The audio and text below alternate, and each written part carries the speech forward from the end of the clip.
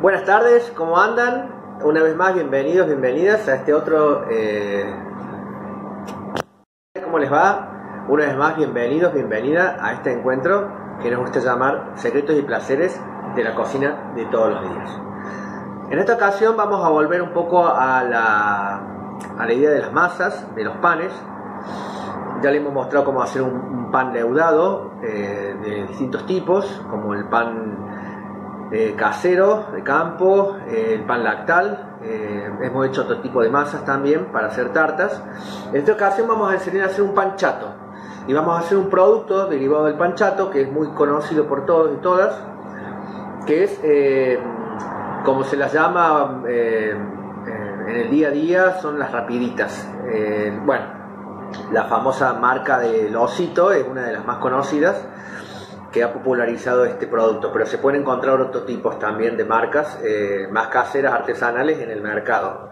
en este caso, bueno, vamos a hacer la casera, que es una muy linda opción, muy fácil de hacer, muy práctica, no requiere mucho tiempo, el descanso es muy poco, no tiene levadura, eh, no necesitamos usar el horno, con una sartén eh, en unos pocos minutos ya está lista. Y uno puede hacerlas, frizarlas, o tener en la heladera un par de días y ir usándolas para comer con distintos rellenos, ya sea desde hacer una ensalada y colocarla adentro con algún tipo de aderezo o algo con carne. Eh, lo cual hace que muchas de, de las opciones que tenemos en el día a día se puedan eh, se puedan reformular, se puedan reversionar con este, con este, con este pan chato. Bien, vamos a mostrar lo que tenemos acá. Tenemos harina, yo prefiero usar la 4 ceros, pero si no tienen pueden usar la 3 ceros. Eh, o harina integral y harina común también es una buena opción. Eh, como este producto lleva opcionalmente polvo de hornear, no es que tenga que llevar sí o sí, pero el polvo de hornear le va a dar otra textura, eh, otra esponjosidad, eh, pueden usar harina leudante directamente. ¿sí? O sea, la opción más básica es harina común. Si quieren pueden usar harina leudante o pueden usar harina común y polvo de hornear, que es lo que yo hago, yo tengo polvo de hornear separado. ¿sí? Tenemos agua, temperatura ambiente, aceite y sal. Básicamente es eso, nada más. Lo que vamos a hacer ahora es hacer una corona. Yo ya integré la sal al medio. También podría haber integrado el polvo de hornear, pero bueno, lo pongo ahora. Eh, le vamos a poner el aceite al medio. ¿sí? Y vamos integrando el agua. Y vamos a ir, mientras integramos el agua, vamos a ir tomando de las paredes internas de la corona para hacer el, engrudo, para ir eh, integrando los secos con los húmedos. Bien, de este producto se pueden hacer distintos, eh, distintas comidas, como por ejemplo las famosas fajitas que se han popularizado mucho en, Argentina, eh, donde uno usa rellenos como salteados de carne, como de pollo, de vaca, eh, pimiento salteado, eh, cebolla salteada, algunos le ponen un poquito de salsa soja, distintos aderezos como una mayonesa, alguna salsita más picante, y eso uno se los va armando a gusto y piacere.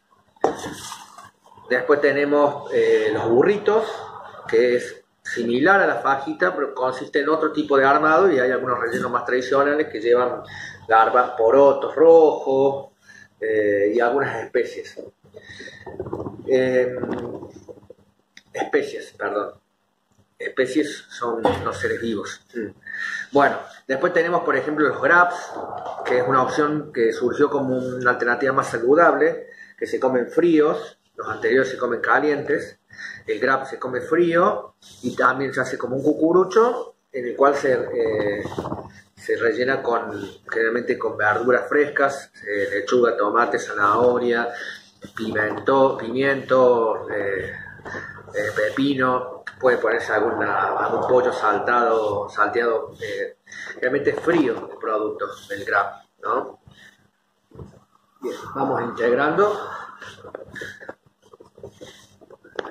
Si ven que requiere un poco más de agua de lo que la receta le, dice, eso al final siempre reciben un poquito de líquido para el final. Si no, bueno, si ven que se quedan cortos, van a ir agregando. Yo eh, ya les había contado cómo era la técnica del amasado. Recuerden que la harina de trigo tiene gluten, entonces nunca tienen que desgarrar la, masa. Eh, al principio lo que pueden hacer es esto, es romperla en bollitos una vez que se integró toda, como una manera de integrar mejor todos los ingredientes y darle más fuerza al gluten, pero a partir de ahí ya no rompan de vuelta la masa, porque si no van a tirar por la borda el trabajo que vienen realizando, que es desarrollar el gluten. Lo vamos a amasar hasta que logremos una textura suave y no pegajos. Una vez que esté, lleguemos a esa instancia, lo que vamos a hacer es colocarla en una bolsa y dejarla descansar 20 minutos. Si no hace mucho calor, no pueden dejarla afuera. Si no, la guardan en el heladera. ¿Sí? Después de ese tiempo la vamos a sacar, la vamos a dividir en bollitos, aproximadamente 100 gramos. Sería eh, bollito chiquito y con un palo de masa la vamos a empezar a estirar. Eh, en ese estirado le vamos a dar una forma circular usando harina para que no se nos pegue y vamos a tener una sartén caliente en donde las vamos a cocinar. Ese es el paso siguiente que les voy a mostrar después de descansar la masa.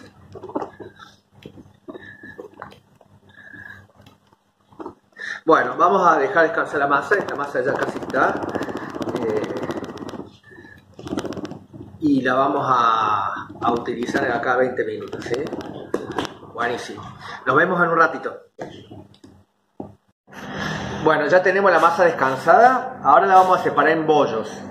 Más o menos un bollo de este tamaño es para, un eh, para una tortilla grande. Si hacen menos, le va a salir más chiquita. Ustedes le van a ir calculando la, porción.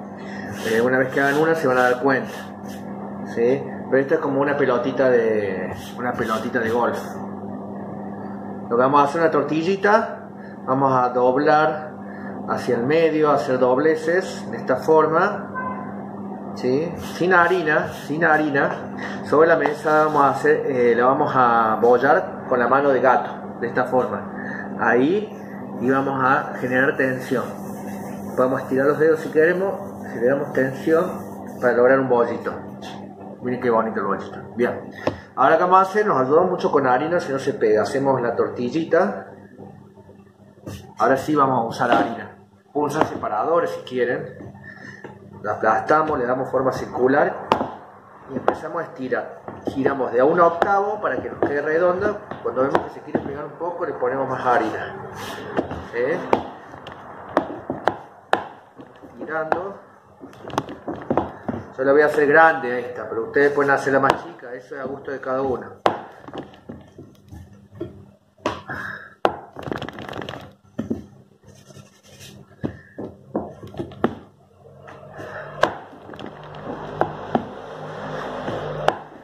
Tenemos tiradas, siempre es importante cuando si las van a apilar, no hace mucho, las van a apilar, no, no las apilen directamente una sobre otra, se les va a empezar a pegar. Pongan separadores en el medio, algún plástico y harina. Si no se les va a pegar y van a tener que empezar todo de nuevo.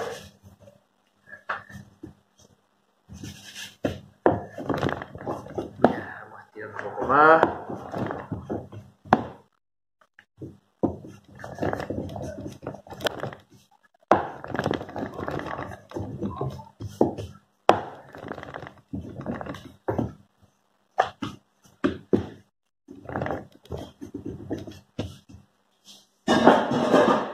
De palo. Este palo tiene más agarre. Cuando se hace más finito. Si no tienen palo de amasar, pueden usar una botella. Yo en alguna época no tenía palo de amasar, usaba botella. Una botella vacía de, vidrio. Sería lo ideal. No tiene que tener una forma perfecta tampoco. La vamos a dejar finita. Ahora vamos a cocinarla. Es muy importante cuando la cocina que el fuego esté en temperatura media, media fuerte y la cocción es muy breve, de cada lado un minuto, un minuto y medio. Ahora les muestro cómo se hace. Bien, acá tengo la sartén caliente. vamos a poner la tortilla. Tengan en cuenta algo que está pasando ahora, que es bueno que suceda para que ustedes también se den cuenta. Siempre calculen el tamaño del grab que tiene que entrar en la sartén, si no le va a quedar eh, muy grande el grab y después se le va a cocinar eh, parejo. Yo bueno, lo pongo acá sobre las paredes, para que se vaya cocinando un poco. Eso es de tener en cuenta, ¿sí?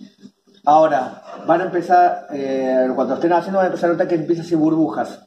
Con un repasador lo van a ir girando para presionar las burbujas y que la cocción se pareja y las burbujas no, no, se, no crezcan mucho, entonces no quede después eh, aireado. Esto no, no queremos generar aire.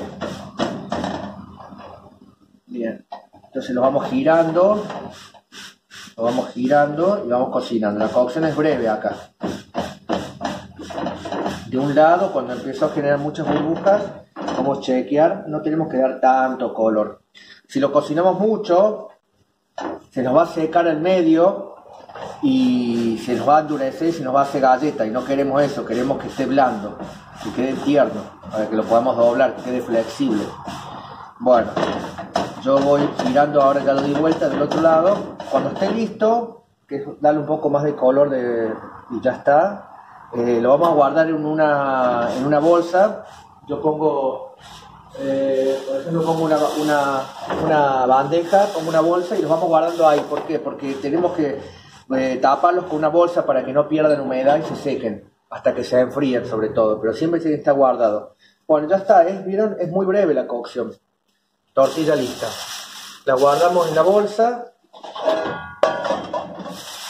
cerramos la bolsa, la dejamos cerradita, mientras vamos haciendo las otras tortillas, vamos a guardar en la bolsa, acá tengo guardada la tortilla que ya hice, y así vamos cocinando en la sartén las próximas tortillas, y de, cada lado más o menos un minuto, un minuto y medio, cuando veamos que hace burbuja de un lado, mientras vamos presionando con el repasador, como les fui mostrando, girando, la damos vuelta, no quiero tanto color, quiero un color tranquilo, ¿sí? Si cocino de más, se me pone dura y después ya no se hace, no queda flexible. Como les dije, las pueden guardar en el freezer y ir sacando eh, cuando las necesiten, las dejan descongelar tapadas en una bolsa eh, a temperatura ambiente, 10 minutos ya está blanda y está lista para usar. Es una opción muy práctica para hacer eh, comidas diarias y darle un toque diferente a, cualquier cosa que tengan en la heladera. yo se lo súper recomiendo y no es difícil de hacer. Así que bueno, a ponerlo en práctica. Nos vemos la próxima.